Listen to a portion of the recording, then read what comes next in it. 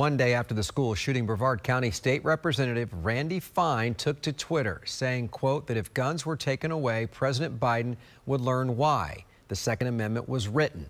Political ex reporter Christopher Heath continues our team coverage. He went to the state capitol where he spoke to Representative Fine, who says all he was trying to do is warn of government encroachment and said that his tweet was not a threat.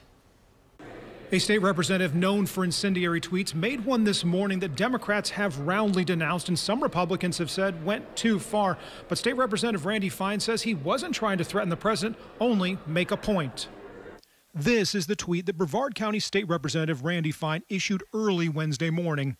Hours later, here was his response. What does that mean when you say you'll learn what the Second Amendment? The Second Amendment was created to protect us from an overarching, over-intrusive, overly aggressive government. Fine defending his tweet as nothing more than a lesson in history. My comments were related to Joe Biden going on national TV and within 60 seconds politicizing it and turning it into a fight against gun control. The tweet posted by Representative Randy Fine is dangerous. It's adding to violent rhetoric. Orlando Democratic Representative Anna Eskamani, along with House Democrats, have condemned Fine's comments, with some Republicans even saying the Brevard County representative went too far. Meanwhile, Representative Christine Hunschofsky, who was the mayor of Parkland when the Marjory Stoneman Douglas shooting occurred, said the focus should not be on incendiary tweets.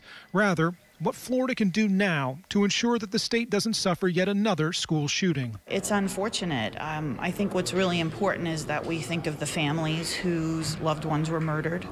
They're going through a lot right now. As far as what else Florida can do to try and protect students, I put that question to Representative Fine. He pointed to Florida's Guardian program, but Florida's Guardian program was modeled after Texas. In fact, Texas was the blueprint. When I pointed this out to the representative, he said he's not sure what else can be done. Reporting from the state capitol, Christopher Heath, Channel 9.